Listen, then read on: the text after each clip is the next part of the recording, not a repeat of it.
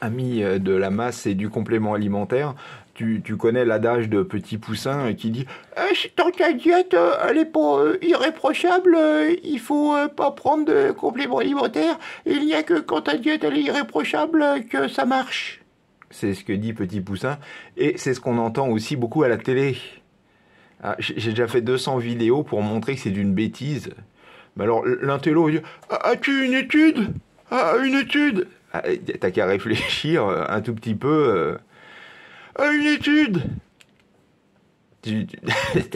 Est-ce que euh, dans ta tête tu pourrais imaginer Il n'y a pas d'étude Eh ben là maintenant j'en ai une, tu vois. Enfin j'en ai une, j'en avais d'autres, mais une de plus. Nouvelle étude. Ah nouvelle étude. Parce que les, les nouvelles études sont toujours plus puissantes que les anciennes, donc tu vois. Publié le 7 novembre, incroyable. Apport alimentaire en micronutriments.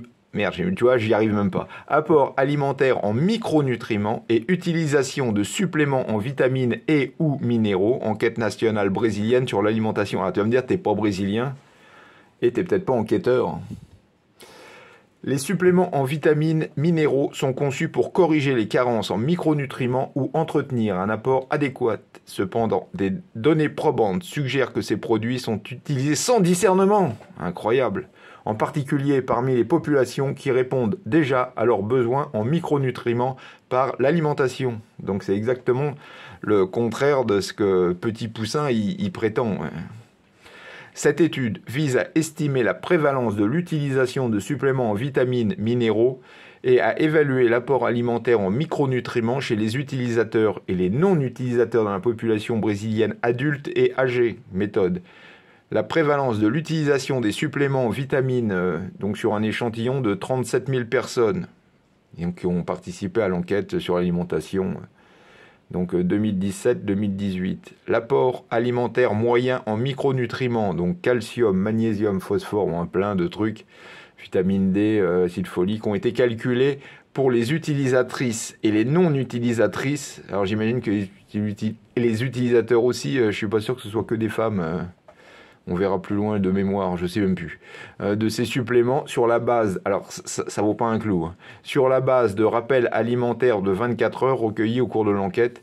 Parce qu'ils vont me dire, par exemple, une pomme, je dis n'importe quoi, mais euh, il y a euh, 20 mg de vitamine C euh, dans une pomme, et si tu as mangé une pomme, tu as 20 mg de... Alors toutes les pommes n'apportent pas le même... euh, Et deux, euh, on a vu euh, la biodisponibilité, c'est-à-dire euh, combien tu peux extraire potentiellement euh, de la pomme, parce qu'il y, a- des vitamines, euh, des minéraux qui sont euh, dans une matrice et tu n'arrives pas à le digérer, ou tu en as, euh, comment... euh, à l'inverse, ça va être mieux digéré et la bio, euh, alors dit la biodisponibilité et la bio-availabilité, availabilité, enfin combien tu peux en extraire et combien tu vas en extraire, ce qui sont deux choses différentes. euh, Parce que je te dis, il y y, a toute une partie, tu pourras jamais l'extraire. Donc la prévalence globale estimée de l'utilisation de suppléments était 16%. Ah donc tu vois, il y a bien les femmes et les hommes, avec une prévalence plus élevée chez les femmes, 20%, et les personnes âgées, presque 30%. Les femmes qui utilisaient les, suppléments de vitamines minéraux présentaient des apports moyens plus élevés pour un plus grand nombre de micronutriments alimentaires par rapport aux non-utilisatrices.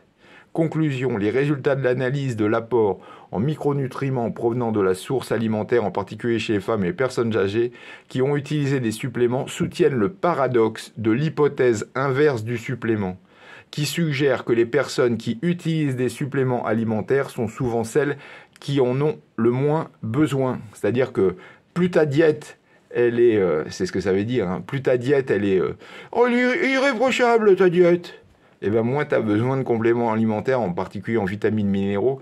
Et plus ta diète, elle, est dégueulasse, euh, plus tu as besoin de prendre des, euh, des, des, des- des- des suppléments pour supplémenter, justement, c'est le but.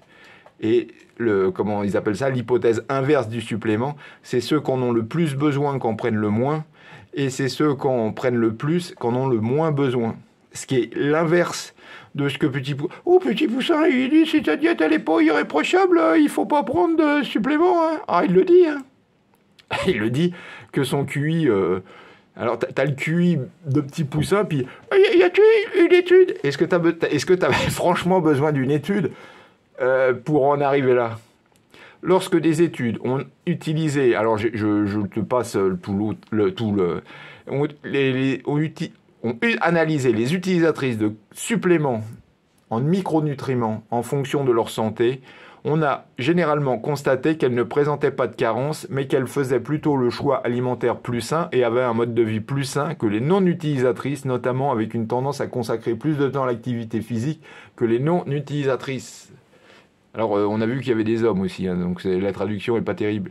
Donc, euh, ce qui veut dire que comment enfin plus la diète est irréprochable, plus les gens vont prendre de vitamines et moins en fait ils en avaient besoin, en théorie au moins.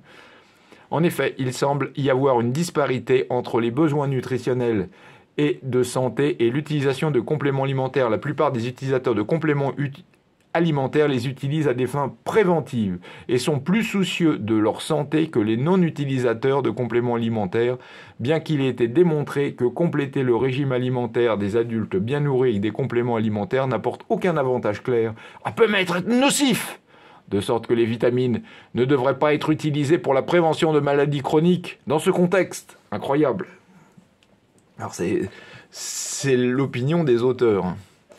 C'est pas, euh, pas scientifique euh, réellement. Les personnes qui prennent des compléments alimentaires à des fins thérapeutiques peuvent avoir des problèmes de santé sous-jacents et peuvent être plus susceptibles de bénéficier d'une supplémentation que celles qui prennent des compléments alimentaires à des fins préventives.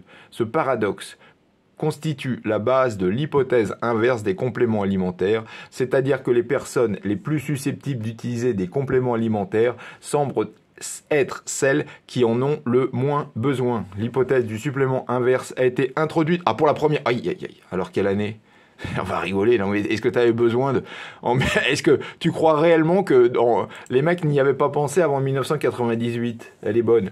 L'hypothèse du supplément enfin de la supplémentation inverse a été introduit pour la première fois, donc euh, qui a fait euh, qui fait référence à l'étude de Draper, qui a évalué l'apport énergétique et nutritionnel de trois groupes de végétariens, semi-végétariens, aïe aïe aïe, semi-végétariens. Je, suis toujours étonné par les, les groupes qu'on sort ovo-lacto-végétariens, végétaliens. Par la suite, Kirk ont utilisé des données de l'étude de cohorte féminine du Royaume-Uni à 13 000 femmes pour tester cette hypothèse. Ils ont conclu que l'utilisation de suppléments est associée à un mode de vie plus sain et à un apport nutritionnel adéquat, ce qui suggère que les utilisateurs de compléments alimentaires n'ont peut-être pas besoin de suppléments pour remédier à des carences nutritionnelles. Alors on a vu que la vitamine D, euh, au moins celle-là, fait exception pour les vitamines minéraux. D'autres études ont également explorer l'hypothèse du supplément inverse dans le but de confirmer ou le réfuter. Dans cette analyse, les résultats obtenus vont dans le sens de l'hypothèse du supplément inverse chez les femmes et en particulier chez les femmes âgées. Cette étude démontre alors qu'également l'apport moyen euh, estimé pour le, je sais pas si c'est intéressant, euh, c'est Brésil, donc euh, ils ont plus de soleil que nous, un peu plus. Et puis bon, alors pas partout, peut-être pas, mais euh, après, mais la plupart du temps, et puis ils s'exposent peut-être un peu plus aussi, euh, même s'ils ont la peau un peu plus bronzée. Donc, mais c'est toujours. Euh, est-ce qu'on a besoin de le démontrer? Mais je te garantis que tu vas le lire encore 100 fois sur Internet et, l'écouter 100 fois à la télé. Oui, si votre diète n'est pas adéquate, les suppléments sont superflus. Il faut que la diète soit irréprochable pour prendre des suppléments. Les études euh, le prouvent.